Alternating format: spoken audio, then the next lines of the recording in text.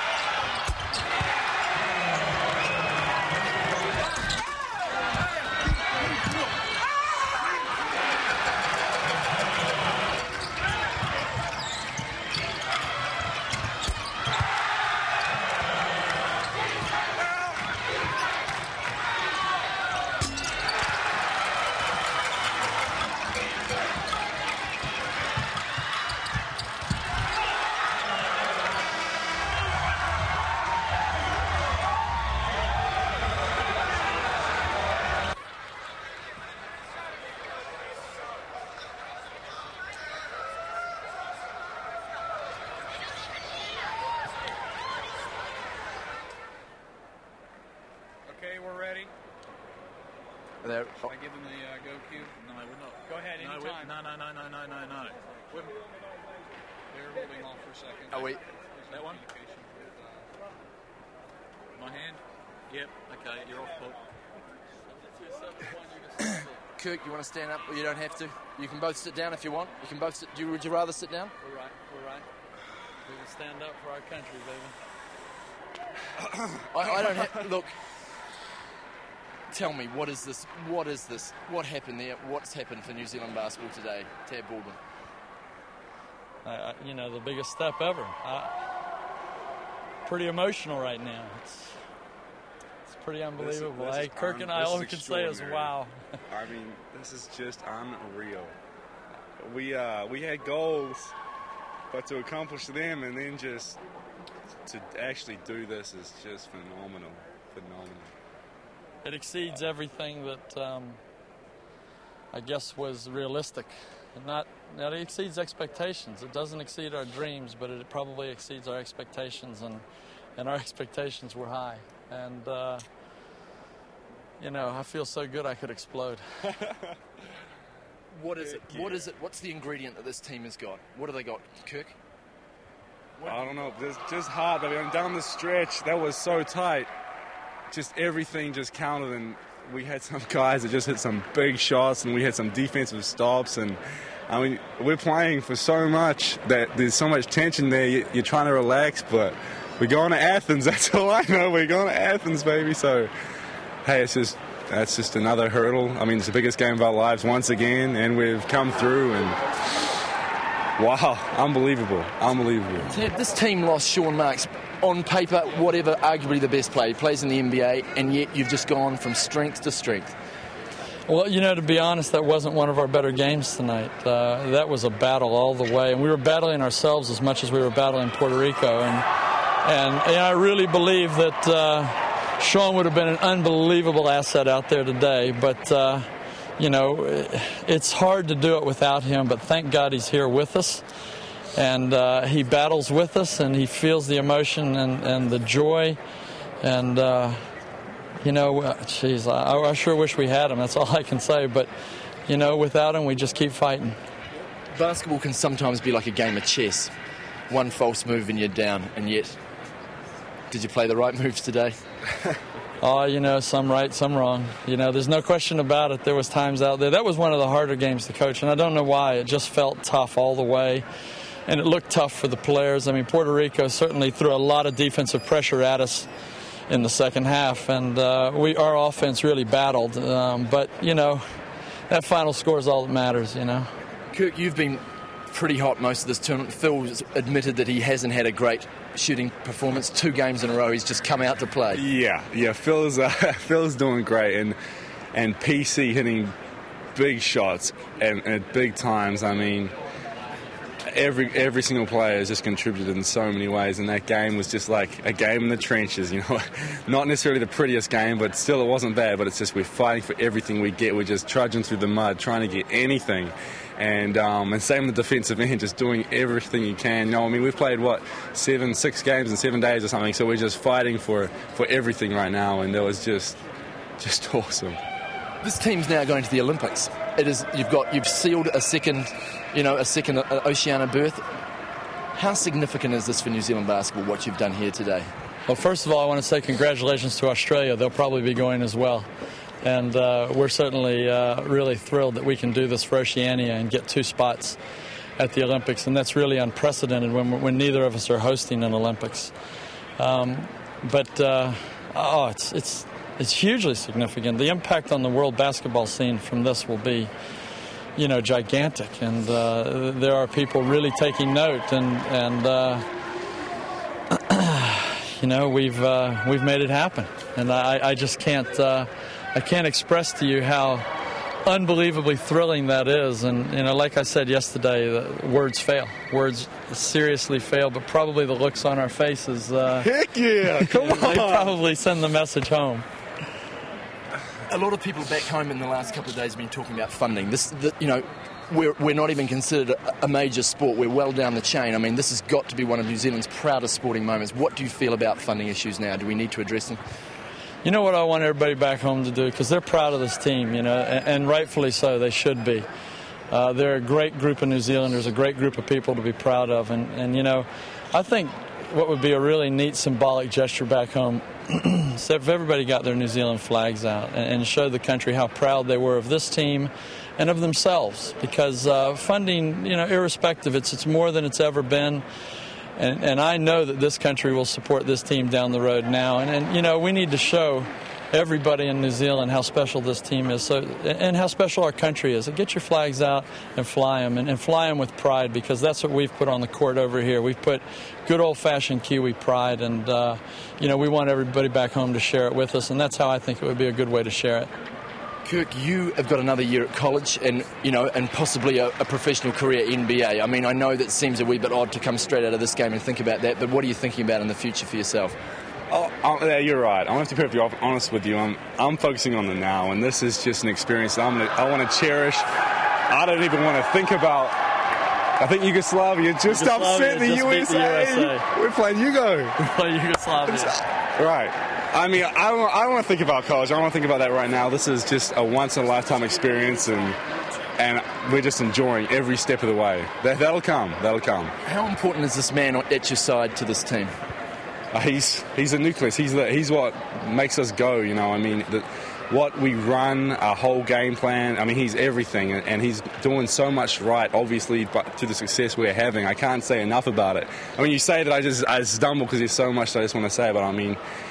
We're still playing though. We're still playing. We're still, you know, working as hard as we can. And I mean, Tab's done an unbelievable job, obviously.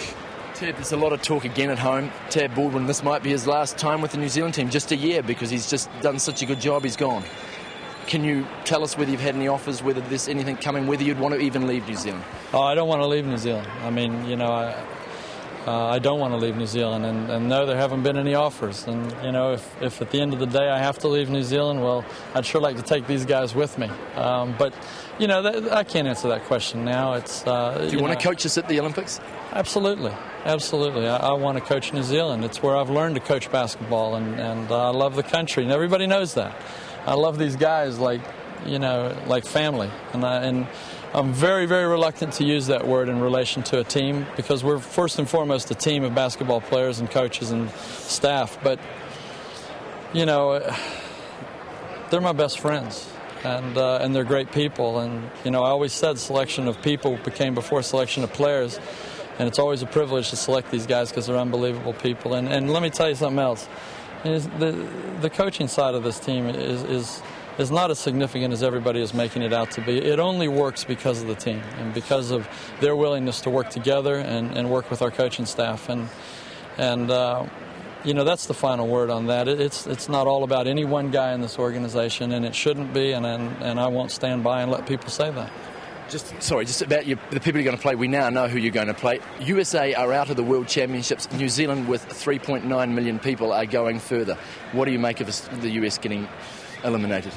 Yeah, I'm shocked actually. Uh, I, I wasn't surprised when Argentina beat them, but for them to lose two in a row, I'm shocked. I never ever anticipated that, but it, I think it points up the fact that uh, the USA needs to prepare better. It doesn't have anything to do with their talent.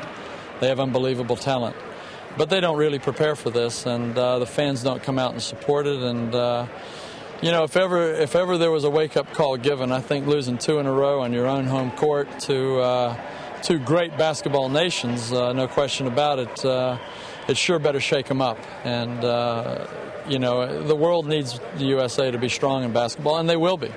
But uh, the NBA needs to take note of it as well. Kirk, Yugoslavia tomorrow. What do you feel about that? Oh, and a very, very tough team. Very, very tough team. They've got five NBA players in their starting roster. I mean, that just that speaks a lot for them right there. I mean, it's another challenge, biggest game of our life, and uh, we'll be uh, we'll be looking forward to it. I know you've got to go. Just quickly, the support you've been getting. Tell me about the support you've been getting from home and about these characters that have been screaming, screaming on the sides. Yeah, I mean, you know, Grant Chapman has just done an un- unbelievable job as our media liaison. Let me say, our whole support staff here has been incredible. They've made life with this basketball team so easy. Uh, but you know, Grant said to me last night. He said uh, about 2:30 in the morning. He said, "Hey, I've downloaded over 800 emails uh, from back home, and and we've been getting about 100 a day. But you know, 800, well, you know, it's unbelievable. People care, and the ones that are here, shoot. I mean, they live, die, eat, breathe. I don't, they probably get less sleep than us, and and uh, I don't know how they're still talking. The noise they make is just uh, fantastic, and uh, you know, we're so thankful, so grateful to everybody. Go hard and whip their ass tomorrow. Hey, thank you Heck very much, guys. All right, brother. Congratulations. Take care, mate. Outstanding. Thank you very, very much Thanks, indeed. sir. Cheers. You're absolute stuff. Yeah, can we? Thanks, Matt. Yeah. Cheers, guys. Bloody stunner. Pip asked if Tab